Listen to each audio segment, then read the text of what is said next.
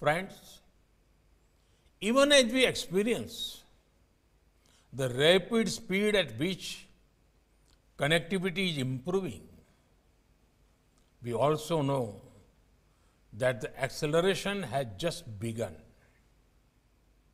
Since the first ever telephone call was made, we have come a very long way. In fact, even 10 years back, it was difficult to imagine the kind of impact the mobile revolution has had in our country, society, and the world. And the future that lies ahead will make the present system appear primitive. In this context, it is important to think and plan how do we improve lives with the upcoming technology revolution.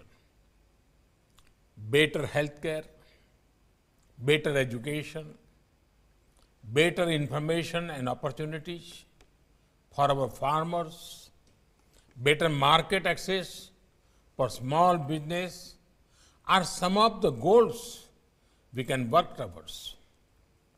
Friends, it is due to your innovation and efforts that the world was functional despite the pandemic.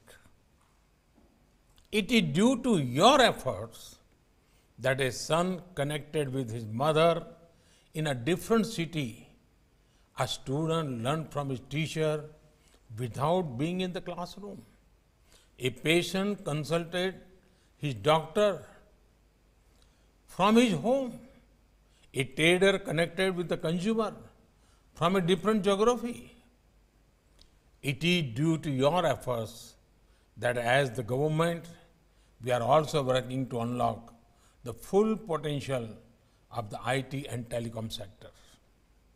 The new other service provider guidelines will help the Indian IT service industry achieve new heights. It will boost growth of this sector even after the pandemic is long gone. This initiative will help to democratize the IT service industry and take it to the far corners of our country.